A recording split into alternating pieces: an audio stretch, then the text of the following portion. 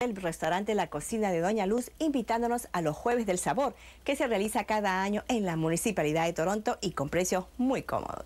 Amigos de Hispanic nos encontramos con Luis eh, Barreto, quien eh, del restaurante La Cocina de Doña Luz y que nos tiene alguna novedad que decir con respecto a los Jueves del Sabor que se realizan a la Municipalidad de Toronto, ¿no?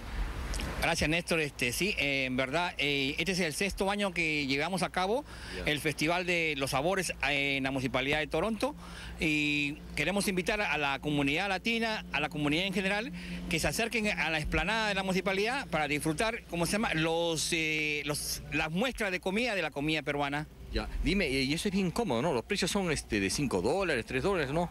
Eh, ¿Podrías explicar, por Sí, las condiciones que nos ha puesto la municipalidad para poder vender nosotros la comida peruana es que tenemos que dar muestras de comida que no pueden pasar los 5 dólares. Hay precios de 3 dólares hasta los 5 dólares.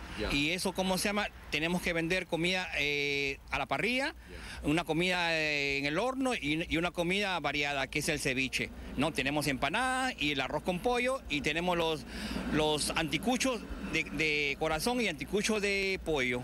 En este caso, pues no hay eh, lo que se le llama el pisco sour, ¿no? Pero me imagino que hay la chicha morada. Sí, va a haber chicha morada, va a haber la Inca Cola y una gran variedad de refrescos, ¿no? Con el sol que, nos va a alumbrar eh, desde las 10 de la mañana hasta las 2 de la tarde. Esto va a durar cerca de dos meses, me dices, ¿no? Sí, eh, este festival lo realiza la municipalidad dos meses y nosotros estábamos, estábamos este, pronosticados solamente para el mes de julio, pero a la demanda de, la, comunidad en general se nos ha pedido que participemos también en el mes de agosto. Lo que tengo entendido que esta área es una área turística y muchos turistas van a visitarlos a ustedes. Sí, es verdad. Este, eh, la gran comunidad este, en general canadiense e internacional se hace presente cada, cada año en, los veranos de julio y agosto. Ya. Eh, ¿Algo más que quieres agregar, por favor?